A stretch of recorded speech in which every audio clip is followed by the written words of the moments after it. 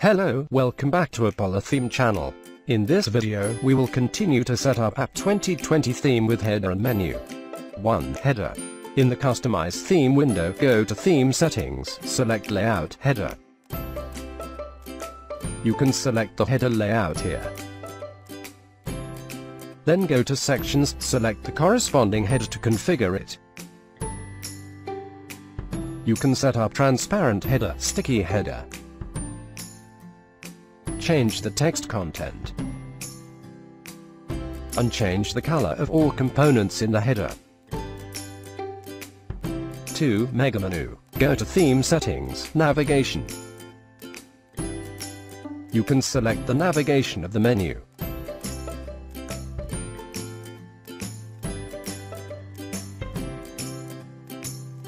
Menu labels. You can create the label menu by using square brackets in the menu's title. You can also change text color and background color of each label. In this example I will try to create a hot label in the Home item on main menu.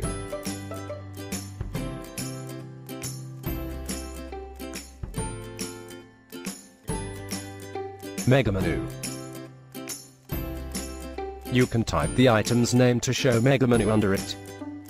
For example, here I type catalog. This item will display as Mega Menu.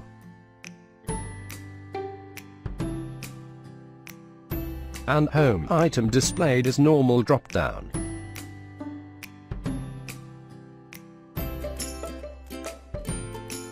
The Mega Menu has four blocks which are link, video, product and HTML. Each block has the corresponding settings for you to set up them. In this example, the link block has a width equal to 100% of Mega Menu's width, and the sublinks have width equal to 25% of the link block's width. I will change it to another layout.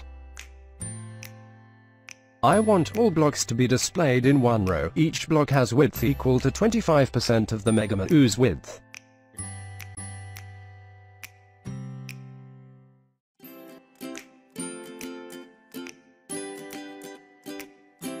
Now I'm changing the video's height to make it suitable.